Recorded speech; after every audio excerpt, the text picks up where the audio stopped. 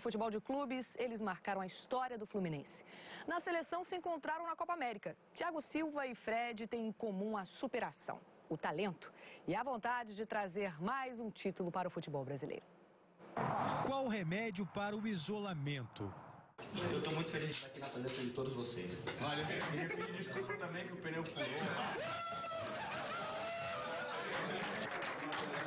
A reunião fica lá no, no 422, né, que é o quarto que eu estou ficando. Só que às vezes eu também estou querendo dar uma descansada e tal. O Neymar e o, o Robinho a mil por hora. Brincadeira no tempo livre, seriedade na hora do trabalho. Tô, tô numa crescente muito boa.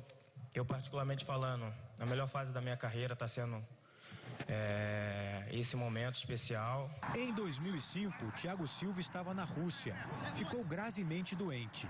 Chegou a pensar que não jogaria mais futebol. Foi a, a tuberculose que eu peguei na, na Rússia, que quase me tirou a vida, né? E a doutora chegou para mim e falou que, que eu teria que tirar um pedaço do, do, do meu pulmão, senão não.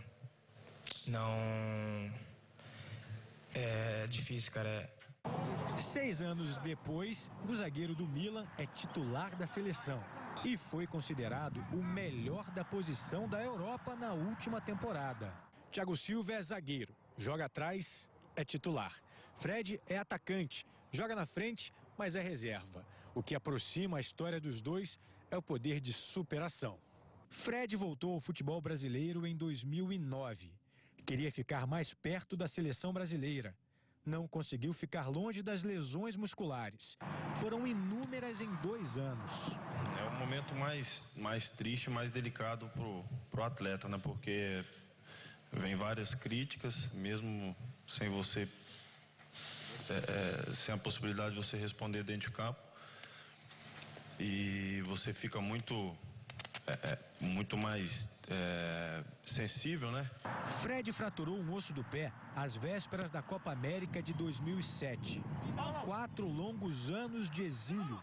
Voltou com Mano Menezes. Eu sempre tenho o objetivo de, de jogar, de fazer gols. Né? Lógico que, que a concorrência é muito grande, muito forte. Até o fim da Copa América, o quarto 4-2-2 será o endereço da descontração. De zagueiros a atacantes, de titulares a reservas. Não importa. Todos só querem bons momentos para recordar.